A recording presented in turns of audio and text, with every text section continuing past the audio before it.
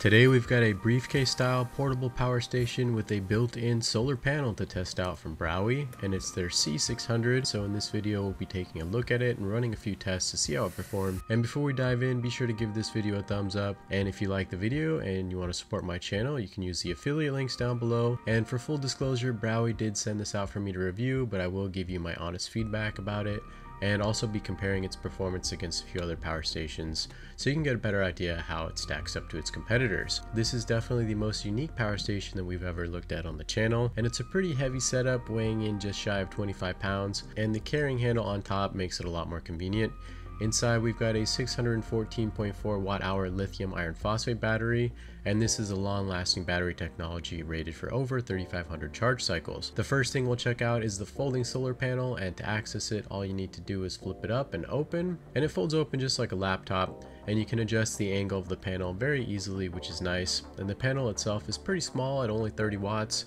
and we'll be testing it out to see what kind of speeds we can get. There is a built-in kickstand underneath and this is going to help you find an optimal angle to position the panel. On the side of the power station you'll find a display screen and this LCD will give you the battery life broken down into 20% increments, the input and the output speeds, and which ports are on. And this is pretty much what we're used to seeing on most modern power stations. Beneath that there's a button to turn on and off the display. Next to that there's a port cover which protects the 65 watt USB-C port and two quick charge 3.0 USB type A's. Beneath that we've got another cover protecting our DC input for charging and two DC outputs. At the bottom we've got a single AC output and a button to turn it on and off and this is a 110 volt with a 600 watt max and then there's also a car port now we're going to jump into some testing to help you get a better idea of the max AC output. And we're going to try to run around the 600 watt mark. And to do this, we're going to be using a hair dryer. And at the level that it's on, it's right around 300 watts. So now we're going to step it up a level, which pushed us to over 600 watts to right around the 650 watt mark, which is higher than advertised, which is quite good. I did try stepping up to the next level, which did overload the power station, but when I turned it back on, everything was working fine, and we were able to return to the 650-ish watt level so overall, this unit has done a good job of living up to the advertised specs so far. Alright, we've got the battery charged back up again, and now we're going to perform a capacity test, and we'll see how close we can get to the 614 watt hour stated. And in order to test this, we're going to plug in a power meter, and we're going to run the AC output at around 300 watts, so roughly half of the 600 continuous watts it's rated for. And when the battery is drained, we'll see a watt hour total at the end, and this is going to give us a good idea of what the true capacity is. So now I'm going to plug in the small hair dryer, and I'm going to drain the battery back down to 0%, and at the end the power meter is reading around 567 watt hours, which is 92% of what the power station claimed, which is really good, and it's actually better than most of the other power stations that we've tested out on the channel so far. Alright, so now that we've drained the battery with the continuous AC output test, we're going to do a charging speed test to see how long it takes to go from 0% to 100% charge. And now that we've got everything set up and we've started to charge, it's 843 and we'll keep an eye on it over the next few hours. And at the start, the charging speeds have jumped to about 110 watts.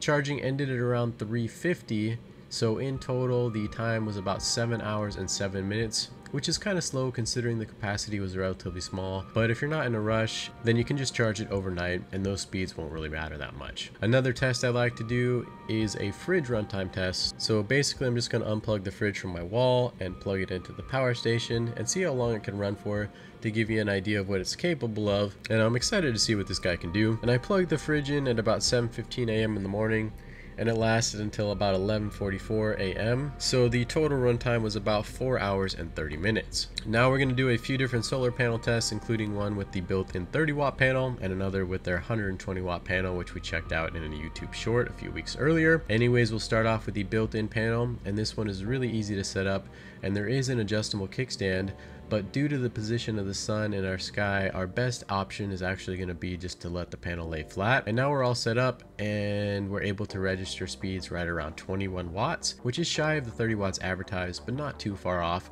And the typical range I see on advertised versus tested specs on solar panels is about 20 to 30% low on average. And this one is a little further outside that range, but you might get slightly better results depending on your conditions. Now we're going to test out their 120 watt briefcase style folding panel and this can be easily connected to the power station. And once we've got it all set up and plugged in we registered right around 110 watts in total, which is about 40 watts shy of the 150 watts we should be getting from the setup, but overall you do still get pretty decent charging speeds from this combination. Overall I think the C600 is an appealing option for those of you looking for a compact power station with the convenience of built-in solar. It is a relatively inexpensive unit from a cost per watt hour perspective, which is interesting considering the built-in solar aspect, but the solar panel will really only be sufficient to help you top off small devices, and if you need more power you will have to supplement with an additional panel. If you want to see how it compares to some other power stations that I've looked at on the channel, you can check out the database link to down below. Thanks so much for watching, and if you're interested in either the power station or the solar panel, check out the links down below.